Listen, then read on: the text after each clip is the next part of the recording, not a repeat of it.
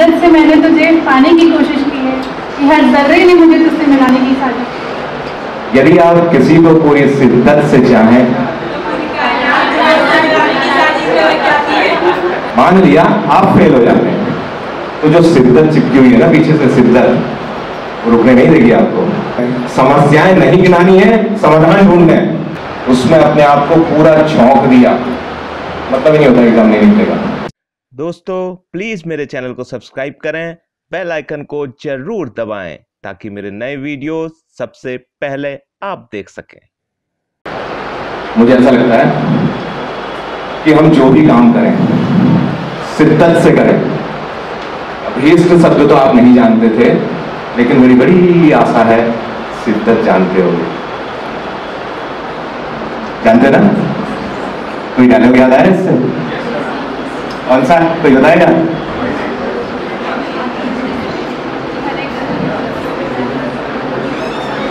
जितनी शिद्दत से मैंने तुझे पाने की कोशिश की है कि हर जर्रे ने मुझे तुझसे मिलाने की साजिश तालियाँ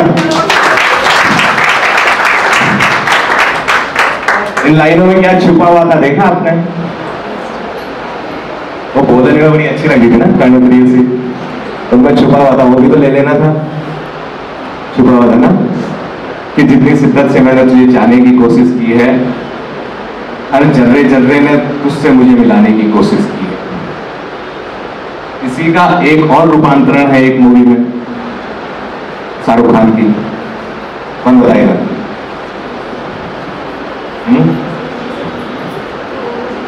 किसी याद है सब पढ़ने वाले लग रहे बहुत सारे। इसीलिए तो मैं इन्हें बताना चाहता हूँ कि आप कुछ और भी ऐसा करो जो आपको रिफ्रेश करे। मोनोटोनी मत लाओ लाइफ में। कोई पैसन तलाशो जो रिफ्रेश करे। जो आप में थोड़ा सा चेंज लाए ग्रेस्पिंग बढ़ जाएगी आपकी। जो ग्रेस्पिंग होती है ना, वो बढ़ जाएगी आपकी। चेंज लाना है। कुछ ऐसा करना है जो आपको मोनोटोनी से हटाए। पढ़ रहे पढ़ रहे पढ़ रहे सारा ये ऊपर का मामला चौक हो जाएगा, रास्ता। कैसे खुलेगा वो? तो बैलेंस वे में मस्ती भी करनी है। संतुलन होना चाहिए। इतनी मस्ती भी नहीं करनी है कि भविष्य खंडन गोपाल और इतनी पढ़ाई भी नहीं करनी है कि पढ़ाई का रिज़ल्ट मिलना ही बंद हो जाए। वो बीच में डायलॉग हो गया था। शाहरुख खान वाला। सिद्धार्थ शायद बोलूँगा तो याद आ जाएगा आप लोगों यदि आप किसी को पूरी शिद्दत से चाहें,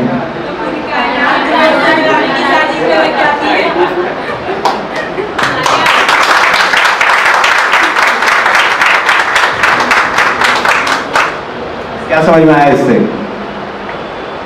क्या इन लाइनों में सच छुपा है?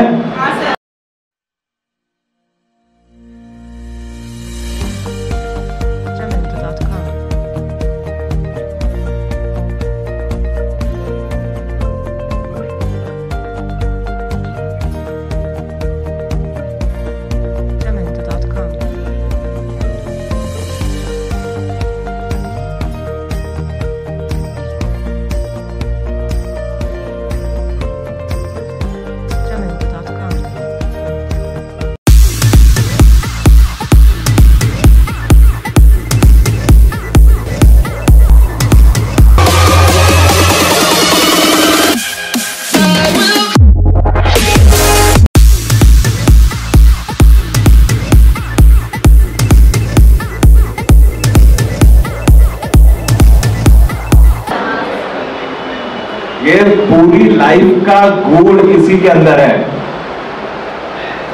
जो प्रगति ने कही और जो ये वाला डायलॉग था। ये दोनों एक ही है। दोनों एक ही संदेश दे रहे हैं। और इस संदेश को जिसने समझ लिया, उसको कुछ करने की ज़रूरत नहीं है। कुछ करने की ज़रूरत नहीं है। वो जो चाहेगा खुद खुद हो जाएगा। समझ रहे अग्रीड आपने कोई चीज़ टारगेट करी और उसको शिद्दत से चाह लिया। तो डायलॉग कहता है कि सारी कायनात आपको उससे मिलाने की साजिश में लग जाती है। कैसे लगती होगी? साइंटिफिक है सारा। दिल का मामला नहीं है। सारा साइंटिफिक है जब आप किसी को पूरी शिद्दत से चाहते हैं। शिद्दत से चाहने का मतलब अ, मुझे कराम साहब की पंक्तियाँ भी याद आ जाती हैं। वो कहते हैं कि सपने वो नहीं होते जो नींद में आते हैं। सपने वो होते हैं सोने मतलब जब आप किसी चीज़ को शिद्दत से चाहते हैं, अपना टारगेट बना लिया आपने और उसे शिद्दत से चाहने लगे तो आपका दिन का चैन और रात की नींद हराम हो जाती है। हर पल आप उसी चीज़ के बारे में सोचते हैं और सोचने के बाद प्रयास करते हैं। यार कैसे पाऊँगा, इसे कैसे लूँगा, मुझे क्या करना पड़ेगा, क्या नहीं करना पड़ेगा? और शिद्दत से क्या होगा कि आप जब किसी एक ट्रैक को चुनेंगे उस टारगेट को पकड़ने के लिए तो पॉसिबली आप फेल भी हो सकते हैं। और पॉसिबली आप एक अटेम्प्ट में सक्सेस भी हो सकते हैं। मान लिया आप फेल हो जाते हैं। मान लिया आप फेल हो जाते हैं।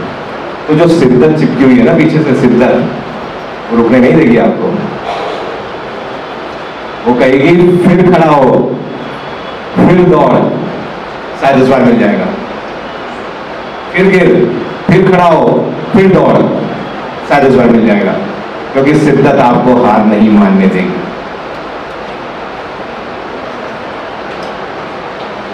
जो पढ़ाई होती है ना, पढ़ाई। कई चीज़ें ऐसी होती है साइंटिफिकली कि हमारे अंदर से जेनेटिकली नहीं होती है। हमें डेवलप करनी पड़ती है एक्वायर करनी पड़ती है। और ये बड़ा जनरली देखा जाता है कि पढ़ाई के लिए इंटरेस्ट बहुत कम होता है जेनेटिकली कितने लोगों में आप में? जिसका पैसा नहीं कि पढ़ना है पढ़ना है अरे यार पढ़ाई पढ़ाई पढ़ाई के बिना रोटी नहीं खाई जाएगी हजम नहीं होगा। कितने लोग हैं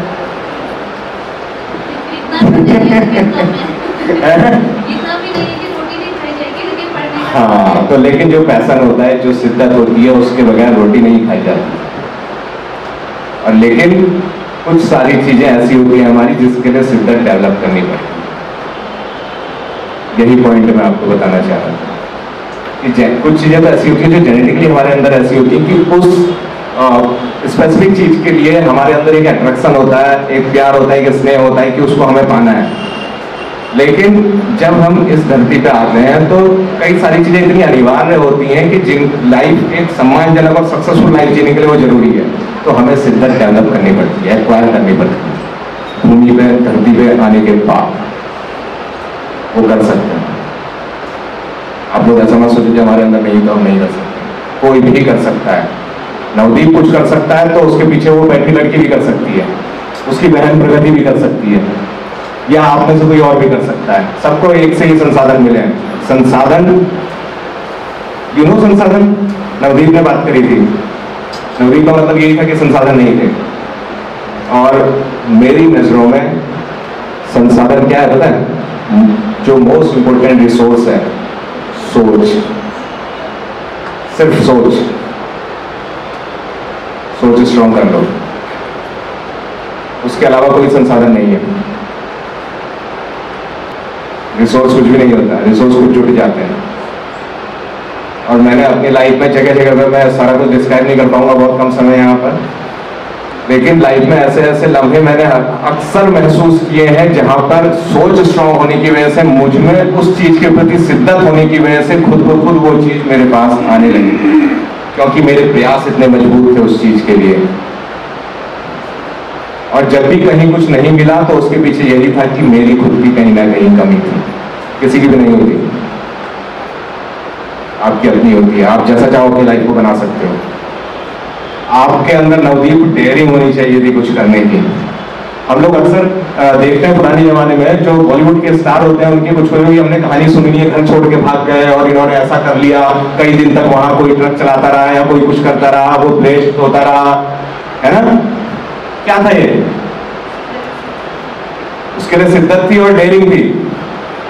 आप में डेयरिंग जब नहीं है कुछ डिसीज़न लेने की तो भाई साहब जब नॉर्मल लोग जी रहे हैं, वैसे ही जियोगे। If you want to make any difference, then behave differently. Then you have to behave differently. You have to act differently. और सामान्य लाइफ जीनी है तो जीते रहो। वो पीछे बॉक्सर बैठी है। उससे पूछो जब जब जीती होगी, कितनी मेहनत करी होगी। लोगों से अलग हटके किया ना। जब किसी को हराया होगा तो उससे तगड़ी मेहनत करी होगी तब हरा पाई होगी ना? ऐसे ही थोड़ी कि सामान्य सोच के संग मुझे ये नहीं मिल रहा है, मुझे वो नहीं मिल रहा है। मैं आपको हतोत्साहित नहीं कर रहा हूँ, ऐसा नहीं सोचना है। मैं आपको रास्ता दिखा रहा हूँ कि आपने आगे बढ़ना है, इन चीज़ों के पीछे हमने नहीं भागना है। समस्याएँ नहीं गिनानी है, समाधान ढूंढना है। समस्याएँ नहीं गिनानी है समाधान ढूंढना है पॉजिटिविटी की ओर बढ़ना है। और जब भी ऐसा लगे तो किसी ऐसे को सोचो जो बहुत नीचे से बहुत ऊपर चला गया, जिसके पास आपके जितने भी रिसोर्सेज नहीं थे। है कि नहीं? और ये ऐसी मोनोटोनी वाली लाइफ भी जीनी है। हम जब पढ़ रहे होते हैं तो आप लोग जो है बिल्कुल ऐसी हालत हो रही है आपकी कि आपको डायलॉग नहीं पता, आपको मूवी का नाम नहीं पता है। ये प्रगति थोड़ी सी लग रही है ऐसे कि थोड़ा ऐसा भी कर लेती होगी।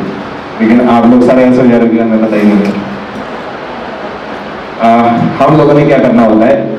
हर मिनट का बेस्ट यूज़ करना होता है। हर मिनट का बेस्ट यूज़ फॉर एग्ज़ाम्पल जब आप पढ़े लिखे हो, अगर आप ये सब नहीं करते तो फिर हमारा पढ़े लिखे होने का कोई फ़ायदा नहीं है। छोटा सा एग्ज़ाम्पल देता हूँ कि साइंस ये कहती है कि ब्रश को जो टूथब्रश करते हैं हम, उसे दो मिनट के लिए करा जाए। दो मिनट के लिए डिफरेंट डिफरेंट एंगल से मुँह के अंदर घुमाना है और साफ़ कर लेना है। आप लोगों से अधिकतर लोग होंगे जो पाँच, छह, सात मिनट तक ब्रश करते होंगे।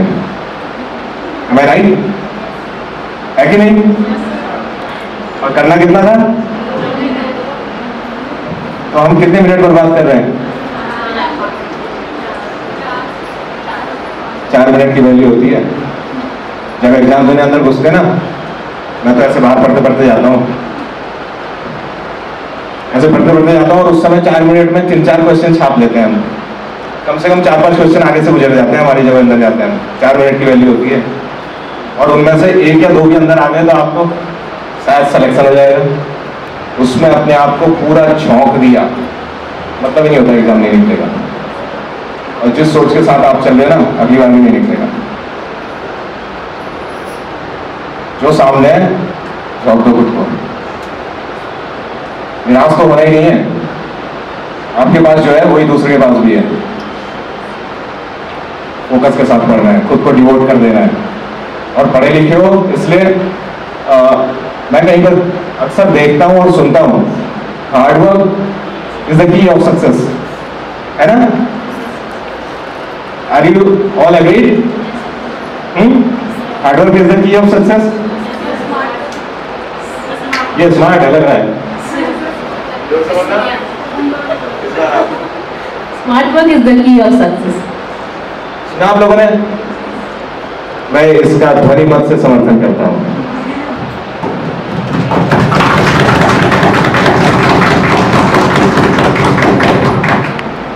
इसका मतलब यह नहीं है कि यहाँ पर हार्डवर्क नहीं है। मैं इसको खोलता हूँ थोड़ा सा स्मार्ट वर्क को, देखिएगा। Smart work means hard work with smartness hard work with smartness तो केवल हार्डवर्क नहीं हार्डवर्क विद स्मार्टनेस करना है। आपको वरना आपके पढ़े लिखे होने का क्या फ़ायदा? फिर मैं बार बार कहूँगा क्योंकि यही पॉइंट है जो मुझे आपके ऊपर लगता है। आप तो पढ़े लिखे हो, अपने आपको पढ़े लिखे कह रहे हो ग्रेजुएट हो गए जब सारे कुछ एग्ज़ाम देने के लिए आ रहे हो। है कि नहीं? और पढ़ने के लिए आ रहे हो इस इंस्टीट्यूट में, इतने बेहतरीन इंस्टीट्यूट में तो ये सोच के आ रहे हो कि मुझे कुछ बेहतरीन करना है। तो बेहतरीन करना है तो कुछ चीज़ें आपसे ऑलरेडी एक्सपेक्टेड रहेंगी।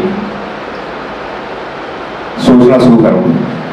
मैं एक, बहुत ऐसी बात बताऊँगा तुम्हें जो हम लोग सोचते हैं कि हमें अपना ऑफिसर बनना है। अब आप लोग सभी जब पढ़ने आ रहे हैं तो मुझे पता है कि सारे लोग कोई बड़ा अधिकारी बनने के लिए, बड़ा एग्ज़ाम निकालने के लिए यहाँ पर आए हुए हैं। तो हमने जब भी ये सोचना होता है कि हमने फला बनना है तो पहले उस वे में बिहेव करना शुरू करो। उस वे में सोचना शुरू करो। उस वे में बिहेव करना शुरू करो, उस वे में सोचना शुरू करो। जैसे यहाँ पर पुराने डायरेक्टर साहब भी बैठे हुए हैं और जॉइंट डायरेक्टर साहब भी बैठे हुए हैं। और वो भी इस बात को जानते हैं और मैं इस समय पहले थोड़े छोटे पद में रहा, फिर बड़े में, फिर बड़े में। तो जैसे जैसे आप बड़े बनते हैं, आपकी ज़िम्मेदारी बढ़ जाती है और आपको बहुत एफिशिएंटली वर्क करना पड़ता है। आपकी सोच बढ़ जाती है, आपका एटीट्यूड बदल जाता है। तो वो एटीट्यूड अगर आपने अभी से ले आए तो आप पढ़ाई भी उसी वे में करने लगोगे। अभी से उसे सोच के चलो। इंटरव्यू की तैयारी करने की ज़रूरत नहीं पड़ेगी। इंटरव्यू की तैयारी दस पंद्रह दिन में नहीं होती। रोज होती है। क्योंकि दस पंद्रह दिन में आप सिर्फ़ वो करोगे जो एक्टिंग होगी। एक्टिंग ही तो कर पाओगे ना। और आपने वो चीज़ें नेचुरली अपने अंदर लानी है। मैडम जब आप इनसे बात करती है तो इस वे में बात करिए कि आपके आँख कान पूरे खुले रहें, चौकन्नी। कि मैंने इसे किस वे में जवाब देना है? मेरा जवाब जो है लॉजिकल हो। मेरा जवाब ऐसा हो कि जिससे पता चले कि मैं पढ़ी लिखी हूँ, उसका इम्पैक्ट आए। मैं किस सब्जेक्ट से हूँ, उसका इम्पैक्ट आए। मैं किस एग्ज़ाम की तैयारी कर रही हूँ, उसका इम्पैक्ट आए। लेकिन इसके साथ ऐसा नहीं होना है कि उसकी ईगो या उसका घमंड हमारे अंदर आ जाए। आपके अंदर विनम्रता हमेशा विद्यमान रहनी चाहिए, चाहे कितना भी ऊपर बढ़ जाओ या बढ़ने की सोच रखो। कभी भी घमंड जैसी चीज़ फील नहीं करनी। अपने को डाउन फील नहीं होने देना है। सीढ़ियाँ उन्हें मुबारक हो, जिन्हें छत तक जाना है। सीढ़ियाँ उन्हें मुबारक हो, जिन्हें छत तक जाना है। मेरी मंजिल तो आसमां है, अपना रास्ता। मुझे पसंद